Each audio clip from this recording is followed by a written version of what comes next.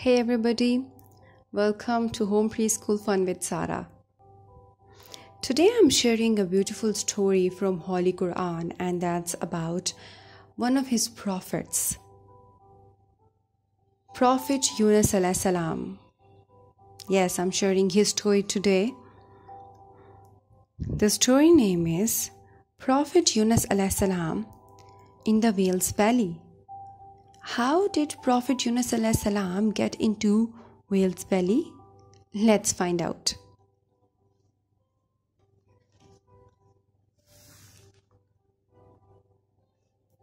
That's whale's stomach. Prophet Yunus in the whale's belly.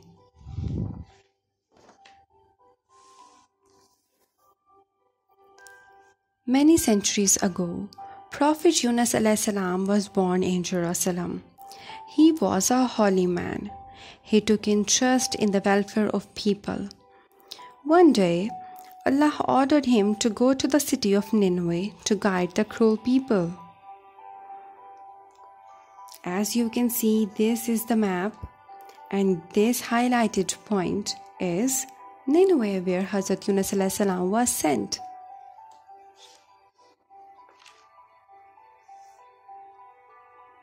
Prophet Yunus salam preached at Nineveh, but it was all useless. The wicked people of Nineveh kept on following their evil ways. Whenever Prophet Yunus salam asked them to practice good behavior, they showed hatred towards him.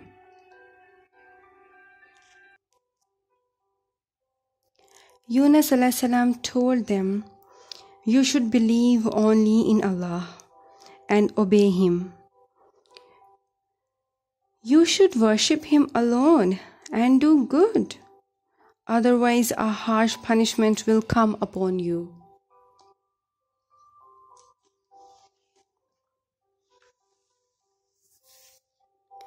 Prophet Yunus salam delivered sermon after sermon, but no change was visible in the cruel people of Nineveh. Prophet Yunus salam was growing worried and irritated day by day. That's really sad.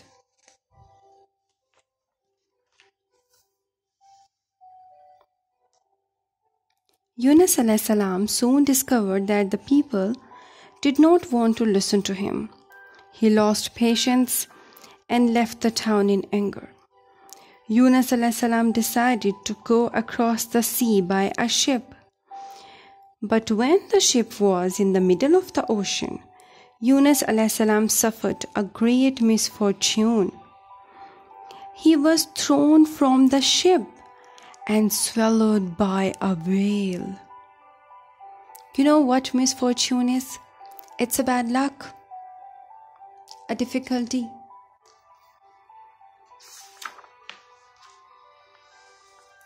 Oh my goodness, that's the whale's stomach. Huge. It was very dark inside the whale's stomach. Yunus grew very fearful. In his loneliness, he started to think over what had happened in the town. Then he realized that he should not have acted in such an angry manner. Instead, he should have stayed and kept on guiding his people.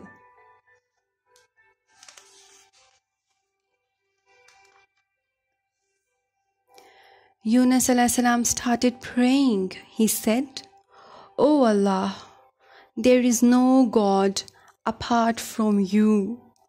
You alone do I praise and honor. I have done wrong.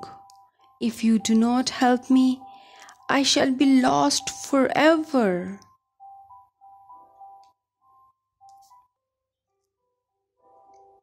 Allah accepted his prayer. Prayers are always heard, you know. The whale came up on the surface again and swam towards the shore. It threw out Prophet Yunus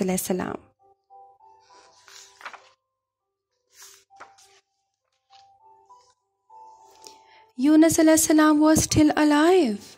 He found himself in a strange and lonely place. He was very ill.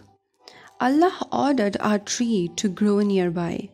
The tree provided Yunus with shade and fruits. Gradually, his strength came back and he found his way to his hometown, Nineveh. And you know what? He was surprised to notice the change that had taken place there. The entire population came out to welcome him. They informed him that now they believed in Allah. Hmm, that's a good change. And then, you know what happened? Together they prayed and thanked Allah. Prophet Yunus started preaching once again, and this time his people followed his teachings. Well, that was a wonderful story from Holy Quran, and I hope you all have liked it. One thing I want to share here that we must and keep on praying from Allah because prayers are always heard. I'll see you next time. Till then, take care. Bye.